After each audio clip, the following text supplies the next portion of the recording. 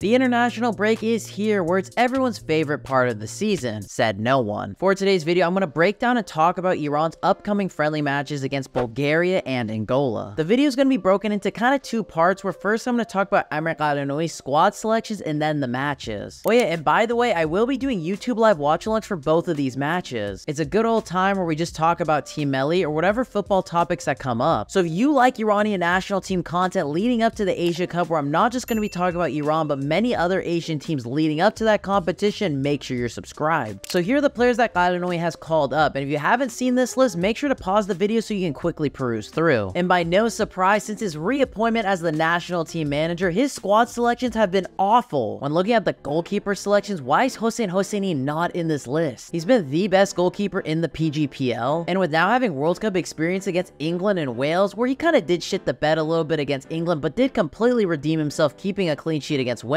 he should most definitely be on this list. I know Beiranvand was the cult hero of the 2018 World Cup, but we gotta be honest with ourselves here, he's a walking headache now. The only three goalkeepers that I want to see in our squad selections leading up to World Cup qualifiers and in World Cup qualifiers is Abedzadeh, Niazmand, and Hosseini. Those are the only three goalkeepers that I believe have potential to be the new first choice goalkeeper for this national team. And in my eyes, we gotta start establishing who's gonna be that number one going forward for 2026. The sooner we establish that, get more games under that goalkeeper's belt, the better will be for that World Cup. If we're going to keep diddle-daddling along with Beiranvand being in the squad, having all these other random bozo goalkeepers in the squad, we're not going to go anywhere in that department. I know this might be a hot take, but Beiranvand should not be playing for this national team anymore. I'm fine with him getting call-ups, but my guy's one more concussion away from honestly going to retirement. When it comes to the defenders, fuck me, this is such a bad selection of center backs. I've said it a million times, and even at the World Cup, even though Cheshmi did score against Wales, this guy should be nowhere near this national team anymore. This isn't 2018, it's 2023. And when it comes to Daneshgar and Moran Man, how the fuck are these guys getting called up for this team? They're 29 and 30 years old with no caps for this national team. Why the hell are they getting called up right now? This is the thing that is doing my head in when it comes to Amir Ghalenoei's squad selections. He's calling up players that have no business to be on this national team. Defenders is probably one of our weakest positions minus Majid Hosseini, who I believe is injured right now. And I think I speak for all Iranian fans, we need to be calling up the younger players, especially in these opportunities in these friendly matches where the games just don't really matter. In my opinion, the last few international windows have been a complete waste for this team. Screw calling up all these old head players that have no future with this national team, and just call up young players that actually have a future with this team. Like for example, Saeed Manej, Jalali, Falah, Hasbavi, those are players that should be getting called up to the senior national team. Not fucking Cheshmi. When it comes to the outside backs, I think that was probably his best selection selection from the bunch, but as I said, I think Jalali should have been in the squad selection. We don't have many great left backs, and he's really young and does have World Cup experience, as he was the youngest player in our 2022 World Cup squad. Instead of calling up a guy like Vahid Amiri, who's halfway to 70 years old, call up a guy like Jalali, who actually has a future with this team. I know this is getting really annoying of me saying the same thing over and over again. One side note when it comes to the midfielders, I think we all were a little bit surprised that Ghoddos did get called up to this camp, as he was a free agent two weeks ago until Brentford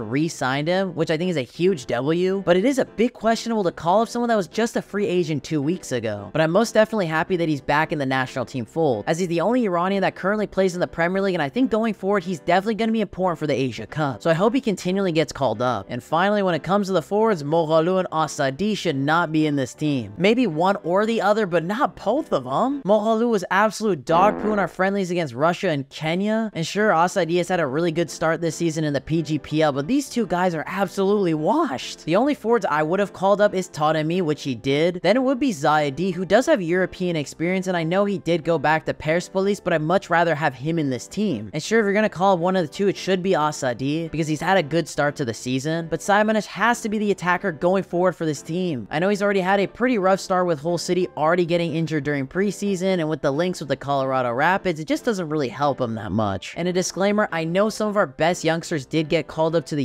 U23 Asia qualifiers, so I will excuse Qalanouis in this instance, but still we need to be calling up the young players. And I gotta admit, I'm more excited for the U23 team than I am for the senior team. Moral of the story here is I've been saying it and I'll keep on saying it, we need to be calling up the younger players to gain experience for the 2026 World Cup. Because most of these guys are absolutely finished and shouldn't be on this team. And when it comes to Qalanouis, I don't rate him one bit and he shouldn't be the national team head coach. And I wouldn't be surprised if shit hits the fan and he gets fired before the 20 2026 World Cup. But now let's talk about the more juicier stuff, the upcoming friendlies. And big shout out to the Iranian Footballing Federation because I do think these two friendlies are actually quite decent. The first match is against Bulgaria in Bulgaria, which I think is an awesome opportunity to play European team in European soil. The unfortunate part is Bulgaria isn't quite the European powerhouse they once were. The last time they qualified for a major international tournament was the 2004 Euros, and the last time they qualified for the World Cup was in 1994. In this match, I really want Iran to play a free-flowing offensive performance.